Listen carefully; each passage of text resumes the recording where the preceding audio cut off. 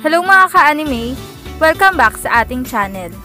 At bago tayo mag-umpisa sa panibagong kwento, mag intro muna tayo.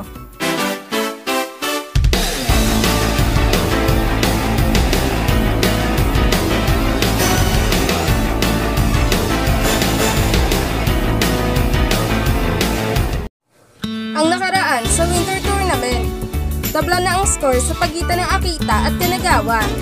Binawian ni Sakuragi si Mikyo at nagawa niya pa itong mapatumba na naging dahilan upang makagawa si Sakuragi ng isang layup at pumasok ito sa kanilang basket na talaga namang ikinamangha ng mga manlalaro at manonood. At dito na nagtatapos ang Chapter 67 ng Winter Tournament. Pero isang paalala lang muna ang aking bibitawang salita para sa inyo na ang kwentong ito ay hindi pa napapatunayan kung isa nga ba itong fanmade o di naman kaya kasama talaga ito sa kwento ng Slam Dunk. Sa kadahilanan na nabasa ko lamang ito sa isang site at walang anumang larawan na nakalagay sa mga ito. Tara, umpisahan na natin ang Chapter 68 ng Winter Tournament. Nagawa ngang masira ni Sakuragi ang ginawang depensa sa kanya ni Mikyo at humantong pa ito sa pagkabagsak ni Mikyo sa sahig na naging dahilan para makapunto si Sakuragi sa kanya nang biglang pumitaw ang referee. Foul counted! One free throw! Yan ang sigaw ng referee na ikinagulat talaga ng buong manonood kahit pa ang mamanlalaro sa loob ng court. Ano? Counted foul pa si Mikyo sa lalaki may pulang buhok na to? Sino ba talaga ang lalaking yan? Yung may pula ang buhok. Ang lakas niya kasi. At ganyan pala siya kapag nagseryoso na sa laban. Naku po, mukhang nakahanap na nakatapat itong si Mikyo ah. At mukhang mas malakas pa ang lalaking ito kumpara kay Mikyo. Yan ang usapan ng mga fans ng Akita. Nang biglang may nagsalita pa na isang lalaki. Para lang sa kaalaman ninyo, ayan si Hanamichi Sakuragi, ang power forward ng Team Shogo. At ngayon, isang power forward na ngayon ang kupunan ng Kanagawa. At para lang ulit sa kaalaman ninyo, na yung si Mikyo ay tinalo na ni Sakuragi sa Inter High. Yan ang sabi ng isang manonood na ikinagulat na naman ng mga fans ng Akita. Ha? Kung ganun, yan pala ang lalaking sinasabi ng lahat na nagawang i-block si Masashi sa Wakita at si Mikyo. At siya din pala ang sinasabi na may pulang buhok na tumalo sa numero unong kupunan dito sa ating bansa, ang Sano. Yan ang gulat na sabi ng mga manonood. Sa kabilang banda naman, si Sakuragi ay nakahanda na para sa isang free throw. Hanamichi, ipasok mo yung free throw mo na yan ah. Umaasa ako sa'yo na magagawa mong maipasok yung free throw na yan. Sige Hanamichi, itira mo na yan. Yan ang sigaw ni Ayako. Huwag kang mag-alala Ayako, dahil ipinapangako ko sa'yo na ipapasok ko itong free throw ko para tayo na ang lumamang sa laban na ito. Yan naman ang sabi ni Sakuragi nang bigla itong bumulong sa kanyang sarili habang natitig sa kanilang basket. Sakuragi, kalma ka lang at may papasok mo ang free throw na ito. Tandaan mo, huminga ka lang ng malalim at tumira ng dahan-dahan. Yan ang sabi ni Sakuragi sa kanyang sarili. Sabay tira ng isang free throw. Subalit, sa pangalawang pagkakataon, sablay na naman ang kanyang free throw. Na ikinagulat talaga ni Sakuragi. Ah, ano? Sumablay na naman ang free throw ko? Pero saan ako nagkamali?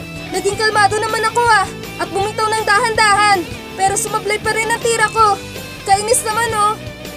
Yan ang inis na sabi ni Sakuragi sa kanyang sarili. Gunggong ka talaga Sakuragi. Yan ang napapala kapag inuuna mo ang yabang. Nangako ka pa kay Aya ko na sigurado ka may papasok mo ang free throw mo ah. Paya ka tuloy sa kanya. Ay naku Sakuragi, hindi ka na talaga nagbago. Yan ang sabi ni Ryota sa kanyang sarili. Sa kabilang banda naman, ang bolang na isablay ni Sakuragi ay nakuha na nga ni Masashi. Masashi, ibato mo na kay Minoru ang bola, dali! Yan ang sigaw ni Coach Dumoto na naging dahilan para agad na ibato ni Masashi ang bola papunta kay Minoru. At nang hawak na ni Minoru ang bola, agad niya naman itong idrinibol ng napakabilis papunta sa kanilang basket. Kanagawa, habulin niyo si Minoru, dali! At huwag niyo siyang ahayaan na makapuntos ng ganong kadali sa atin! Yan ang sigaw ni Ayako. Huwag ka mag-alala, Ayako! Dahil ako na ang bahala para humabol sa ungas na yan! Yan naman ang sigaw ni Sakuragi. Sabay humarurot ng takbo para habulin si Minoru. Minoru, maging maingat ka! Dahil humahabol sa'yo si Sakuragi! At dahil sa kanyang pambihirang bilis, sigurado akong kaya ka nitong maabutan! Kaya naman, maging maingat ka at maging alerto sa paligid! Yan naman ang sigaw ni Coach Tomoto habang si Minoru naman ay agad na tumalon para gumawa ng isang layup. nang biglang sumulpot si Sakuragi sa kanyang harapan. Huli ka Minoru! Ngayon wala ka nang pupuntahan! Kaya naman, siguradong supapal na ang aabutin mo sa akin! Yan ang sigaw ni Sakuragi nang biglang ngumiti si Minoru. Sabay pasa ng bola patalikod na ikinagulat talaga ng sobra ni Sakuragi dahil biglang sumulpot si Sawakita sa likuran ni Minoru at kinuha nito ang bolang ipinasa ni Minoru sa kanya. Sabay talon at gumawa ng isang slam dunk na naging dahilan para makuha na naman nila ang kalamangan sa Kanagawa. 35-33, pabor sa Akita. Ayos! Puntos na naman! At nakuha na naman ng Akita ang kalamangan sa Kanagawa. Ang husay niya talaga Minoru, sa Wakita. At ang akala talaga namin ay masusupalpal ka na ni Sakuragi Minoru. Pero hindi pala, dahil alam mo palang nasa likuran mo si Sawakita. Kaya naman, agad mong ipinasa ang bola sa kanya. Napakahusay ng teamwork nyo. Wala talaga makakatalo sa inyo. Yan ang sigaw ng mga fans sa Akita. Buisit, naisana ko ng Minoru na to ah. Pati itong si Sawakita, masyado talagang pasikat. Babawian ko kayong dalawa.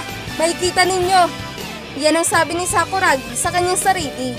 Sa kabilang banda naman, hawak na ng Kanagawa ang bola at dinadala na ito ni Maki papunta sa kanilang basket.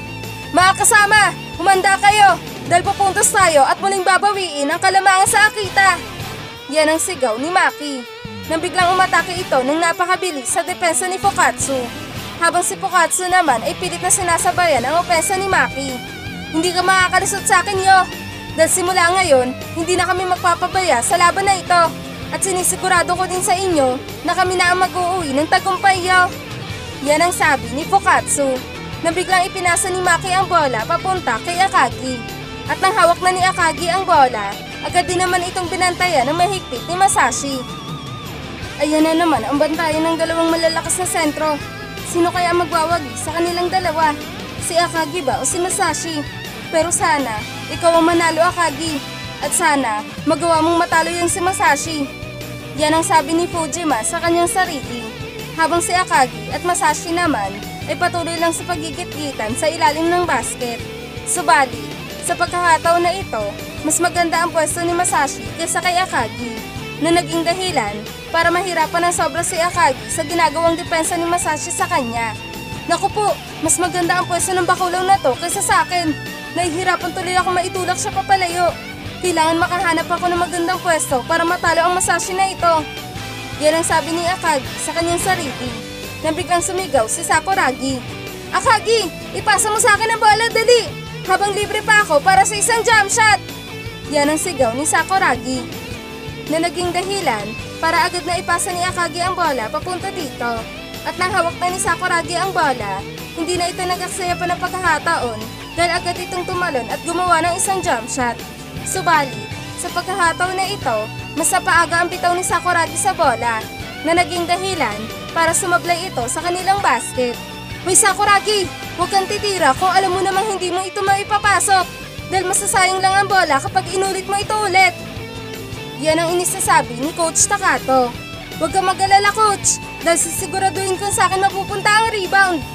Yan naman ang sagot ni Sakuragi kay Coach Takato. Sabay tumalon at kinuha ang rebound. Huwag na kayong sumabay pa mga ungas dahil hindi nyo naman makukuha ang rebound sa akin. Dahil ako ang hari ng rebound. Yan ang sigaw ni Sakuragi. At ang nakababa na si Sakuragi galing sa rebound, agad naman itong binantayan ng mahigpit ni Mikyo. Na biglang ipinasa ni Sakuragi ang bola papunta sa kanyang kaliwa. Na ikinagulat talaga ni Mikyo ng sobra. Ah ano? Sa akin siya nakatitig tapos bigla niyang ipinasa ang bola sa kanyang kaliwa? Pero sino naman kaya ang kanyang papasahan? At paano niya nalaman na may kakampi siya sa kanyang kaliwa? Yan ang pagtatakang tanong ni Mikyo sa kanyang sarili. Habang ang bolang ipinasa ni Sakuragi ay agad na kinuha ni Rukawa. At nang hawak na ni Rukawa ang bola, agad naman itong tumalon at takmang gagawa ng isang slam dunk. Subalit, laking gulat ni Rukawa dahil biglang nagpakita si Sawakita sa kanyang harapan. Rukawa, hindi sa lahat ng pagkakataon ay suswertehin ka na makapuntos. Tandaan mo, si AG Sawakita ngayon ang kalaban mo. Ang taong tatalo sa'yo. Yan ang sigaw ni Sawakita. Sabay supalpal ng sobrang lakas sa bolang hawak ni Rukawa na naging dahilan para tumilapon ng bola papalayo sa kanila at tuluyan ng mahulog si Rukawa sa sahig. At dito na nagtatapos ang Chapter 68 ng Winter Tournament. Isang nakakabiting katapusan na naman ang ating nasubaybayan mga ka-anime. Kaya naman, patuloy pa nating subaybayan ang mga susunod na chapter. At kung nagustuhan nyo ang ating kwento, share nyo na ito at mag-iwan na din kayo ng isang like para mas ganaan akong gumawa pa ng mas maraming video. At maraming salamat nga pala sa mga hindi nag skip na ating ads.